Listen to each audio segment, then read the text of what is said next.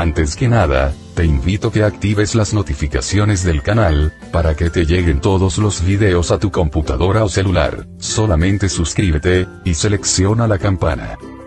Activa la casilla, y guarda. Con esto no te perderás ningún video del canal, y te llegarán todos. Comenzamos. Angélica Vale regresa. Andrea Legarreta sale del hospital, y se reúne con su familia. Andrea Legarreta esta semana publicó que tiene una enfermedad llamada púrpura. Esta enfermedad ataca directamente a las plaquetas del cuerpo, es un trastorno hemorrágico en el cual el sistema inmunológico destruye las plaquetas cuya función es la coagulación normal de la sangre. La trombocitopenia, mejor conocida como enfermedad púrpura, se refiere a una baja de plaquetas, lo cual se asocia con sangrado anormal. Cuando Andrea Legarreta hizo pública su enfermedad tal parece que la etapa más difícil ya la había pasado, esto no quiere decir que ya se encuentre completamente bien, pero parece que su cuerpo ha respondido favorablemente a dicho tratamiento. Tanto así que ya regresó a su casa, aunque parece aún se encuentra un poco débil, pues regresó en silla de ruedas, pero no la necesita, era solamente momentánea. En el hospital sus amigos y familiares la visitaron, y este sábado fue dada de alta, y ahora está en casa. La conductora tiene planeado hablar de dicha enfermedad en hoy,